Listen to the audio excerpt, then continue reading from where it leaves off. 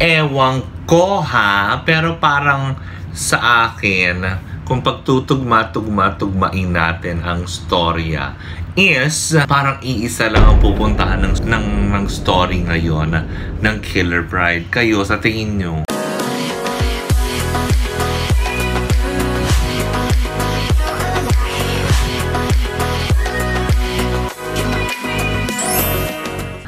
Kapipi! Welcome back to my channel! It's me, Kapitana Sisa.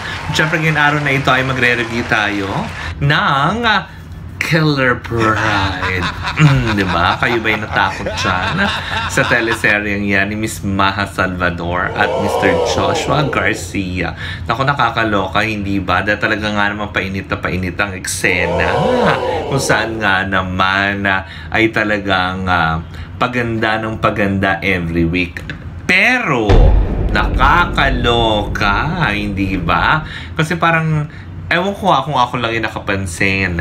Siguro, medyo, kung talagang kayo ay sumusubaybay sa mga teleserye na nagawa ni Miss Maha Salvador at talaga nga naman napakagaling talaga niya is masasabi ko naman dito is parang uh, wait, ah, 'di ba? Kasi in first two weeks na pinalabas ang Killer Bride, ah, ay talaga nga naman halos lahat talaga, minima natin, natakot, ah, kinilabutan, ah, ayaw manood ng teleserye mag-isa, not until such time, ang third week nila, ay ito na nga, ni-reveal na na buhay pala siya, kumbaga may twist yung story at napakagaling noon, hindi ba?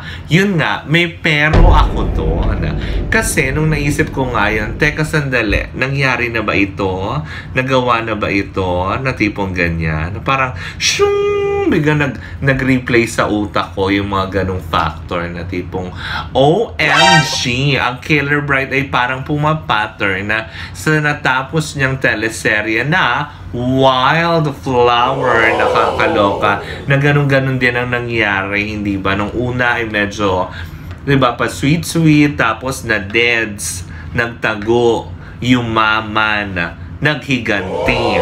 Pero eto naman ngayon ang Killer Bride, multo ang simula, 'di ba? Na keme, kinagulat ng lahat, 'di ba? Maraming naapektuhan na tipong ay multo tapos third week biglang lumantad si Camila mismo na yun pala ay palabas lang lahat yon At eto, yumaman din siya. Ngayon, eto na naman naghihiganti, di ba? Kaya na sinabi ko, hindi ba, bahala kayong humusga kung ano nga ba yung sa tingin nyo na may pagpapattern o nagkataon lang. Kasi parang, syempre ako tutok talaga ako sa mga teleserye. Hindi ko naman talaga yung pagkakaila yun. Na, na halos lahat, di ba, na sinubaybay ako talaga ng mga teleserye. Even ngayon dun sa Korean novela, eh, medyo nahuhook na rin ako dahil syempre magkakasunod lang din naman din yan, hindi ba? Pero yun lang din naman ang naisip ko na Teka sandali, papunta ba ito sa storya ng Wildflower? Na kung saan nga naman magpapanggap siya ulit tapos maghihiganti kaya uh, Mr. Um, sino ba itong kapartner niya? Wait ah. Wait, aalamin ko yan. Sandali. Buti na lang nagtatanong na ako ngayon, di ba? Bago tayo magkamali ulit. Nakakaloka. Si RK Bagatsing, kapatid siya ni Raymond Bagatsing, hindi ba na nakakaloka? Mabuti na yung nagtatanong. Ayoko na mapahamak. Nakakaloka. Hindi yun nga, diba yung storya nito na isa rin kilalang prominenteng pamilya. Diba si RK Bagatsing ng to, mga adje, ar, argente. O, diba? Kung saan nga naman na uh, meron sila dito, kasama niya sila Tirso Cruz III, sila, um, sino to? Si...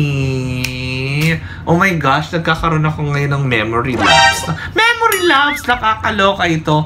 Si um, Aiko Melendez yan. Di ba? Tapos eto naman ngayon si Camila de la Torre ay, ah, di ba, nakikipagsagupaan sa mga de la Cuesta at de la Torre. Isa rin mga prominenteng pamilya. Ano ba yan? Doon pa lang sa storyline, di ba, mapapattern mo na. Ako, sorry ah, hindi naman sa inaano ko lang. Pero yun lang po yung observation ko na sana gawin naman nilang iba or kasi, di ba, parang nasaan nga yung iba na tipong, ay, ano yun? Bakit naman ganun buhay pala? Pero ang galing ng pagkakatwist noon na si Camila. Pero sana pinatagal muna nila. Hindi yung kaagad na pinrente ka agad na buhay. Kasi nga, nadadala yung tao for the first two weeks eh. Nasimula nung namatay si Camila de la Torre. Tapos, diba, yung mga ganong 'di ba na halos kinilabutan yung iba ay manood ng walang kasama kasi nga umi-effect sana pinaba inintay kumbaga hinabaan na muna yung eksenang ganyan na since kasi simula pa lang naman at talagang tumitrending dahil pag-uusapan na pero dahil nga sa nangyaring ito hindi rin naman maiwasan na may mga magkomento na na tipong ay bakit ganyan bakit ganun parang ganyan nga so ako naman inisip ko din kasi wildflower fanatic din ako nang dati na inisip ko na tipong, oh my gosh, parang, oo nga, parang similar. Doon pa patakbo to, na maghihiganti din siya. Ba diba? Nang, para matunayan niya kung sino talaga din yung nagkasala sa kanya. Sino rin yung mga pumatay sa mga mahal sa buhay niya. Yung mga ganong aspeto, hindi ba? Kaya, nakaka frustrate in a way na tipong ako. Kaya, ka, parang the other night, nung nanonood ako, parang, sa, saan nga ba ito papunta? Sino na ba yon? Parang tuloy iniisip ko tuloy na tipong ah, pinapattern ko na siya sa wildflower kasi parang iisa lang din ang, ang plot ah, na patutunguhan nito. Yun nga lang din sa akin. So, parang sayang in a way, ba na kasi inabangan na ng tao eh. Sana, sana binigyan ng mas kakaibang atake. Di ba? Kagaya nung first start lang. Nung first start talaga, medyo bumulusok talaga siya. Pero nung medyo nagtagal na, parang ako naman, parang, oh my gosh, bakit ganyan? Hindi ba na nakakaloka? But anyways, patuloy pa rin natin. Mali mo, di ba?